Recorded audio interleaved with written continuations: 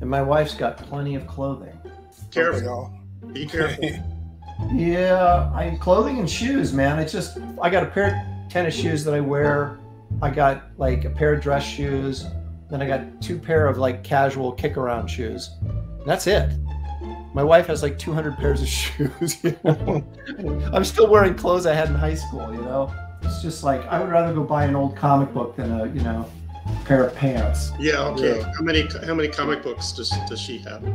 Uh, mm, let me think here. You know, she used to have a collection of Sergio Aragones' Groo. Shelly and I first uh, met and were dating. She would like come to all the comic book shows, right? She thought that was really cool or whatever.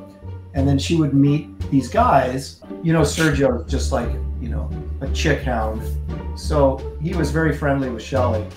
And uh, so because she knew Sergio, she started collecting Groo the Wanderer, right? So we got his first appearance and all that kind of stuff, which I think was in Destroyer Duck or one of those weird Pacific comics that Kirby was doing. I think we were at San Diego one year, and Sergio had this huge freaking line, right?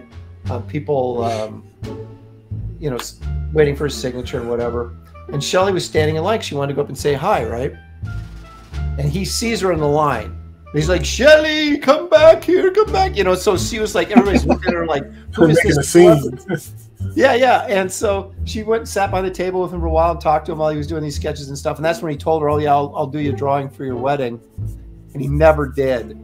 Oh So she got so pissed, she threw out all the Groo no!